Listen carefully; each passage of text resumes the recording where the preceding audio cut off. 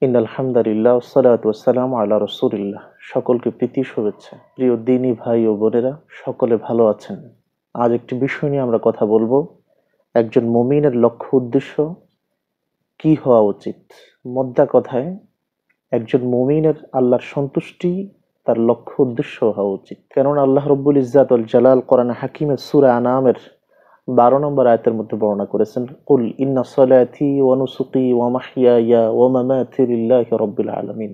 অত্র আয়াত স্পষ্ট প্রমাণ করে আল্লাহর হাবিবকে শিক্ষা দিয়েছেন, হাবিব, বলুন যে আমার নামাজ, আমার জীবন, আমার কোরবানি, আমার যাবতীয় হায়াত মাউথ সকল কিছু শুধুমাত্র আল্লাহ রব্বুল ইজ্জাতুল জালালের জন্য।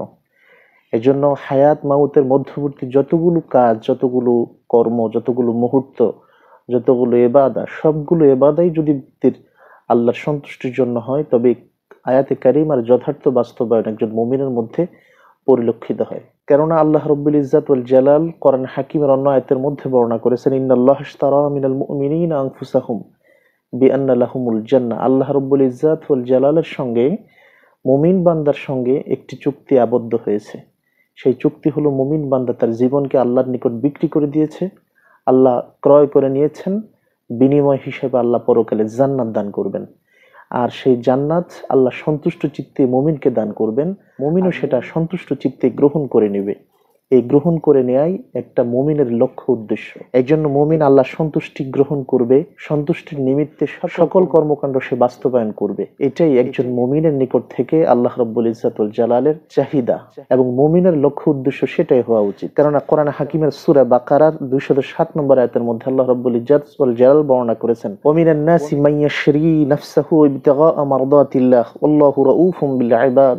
আল্লাহ রব্বুল ইজাতুল জালাল কোরআন হাকিমের এই আয়াতের মধ্যে বর্ণনা করছেন যে মানুষের মধ্যে এমন লোকও আছে, যে সমস্ত লোকগুলো শুধুমাত্র আল্লাহ রব্বুল ইজাতের সন্তুষ্টির জন্যই নিজের জীবনকে উৎসর্গ করে, আল্লাহর নিকটে বিক্রি করে দেয় এবং আল্লাহ রব্বুল আলমিন ওই বান্দার নিকট থেকে এই বিক্রিটা খুব সানন্দে গ্রহণ করে নেন। আর আল্লাহ রব্বুল ইজাত তিনি তো রউফ আল্লাহ আইবাদ বান্দার উপরে, তিনি তো পরম দয়াশীল বান্দার উপরে। বান্দার জন্যই আল্লাহ রব্বুল আলমিনের এই তাবৎ পৃথিবী, সমস্ত জান্নাত, জাহান্নাম, সকল কিছু সৃষ্টি করা। আল্লাহ তো সন্তুষ্ট চিত্তে বান্দার নিকট থেকে দিবেন।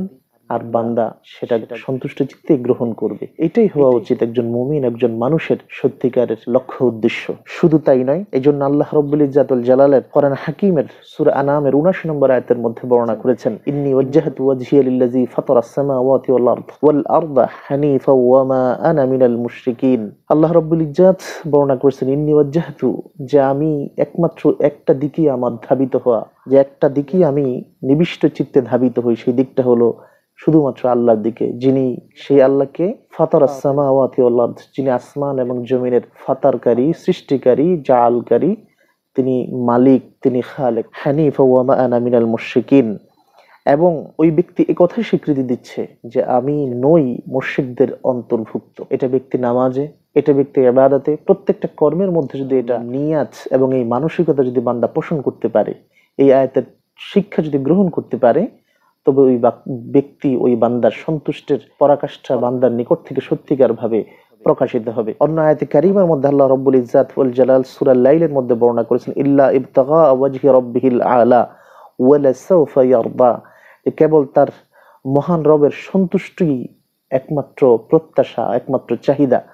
আর যে ব্যক্তি এই চাহিদা নিয়েই থাকে, ওয়ালা সাউফা ইয়ারদা, সে অচিরেই সেই সন্তোষ, সেই সন্তুষ্টি, সে আল্লাহর রেদা এগুলো গ্রহণ করতে বা লাভ করতে, অর্জন করতে পারবে। সূরা ইয়াসিনের 32 নম্বর আয়তের মধ্যে আল্লাহ রাব্বুল ইজ্জাত বর্ণনা করেছেন, ওয়ামা লিয়া লা আ'বুদুল্লাযী ফাতারানি ওয়া ইলাইহি তুরজাউন।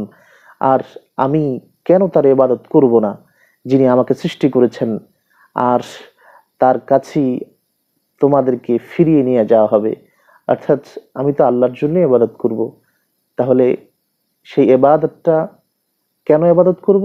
আমার একমাত্র কারণ হলো যে আমাকে একটা মুহূর্তে দুনিয়ার জমিন থেকে চলে যেতে হবে। আর সেই চলে যাওয়া অন্য কারও কাছে নয়, সেটা আল্লাহর কাছেই যেতে হবে।